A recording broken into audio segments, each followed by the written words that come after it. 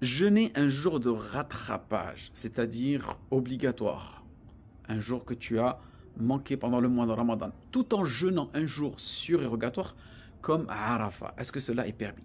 Les écoles juridiques ont divergé. Et c'est ce qu'on appelle tashrik la combinaison de l'intention.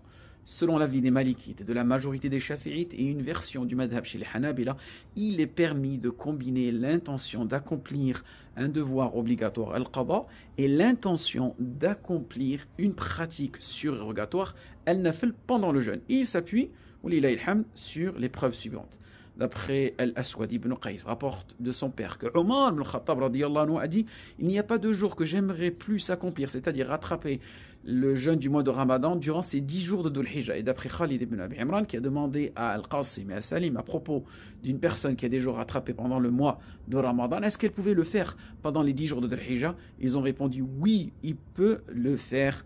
Donc voilà cet avis-là. Et cet avis, parmi les contemporains, vous avez Sheikh Ibn Uthaymin, qui l'a pris en considération.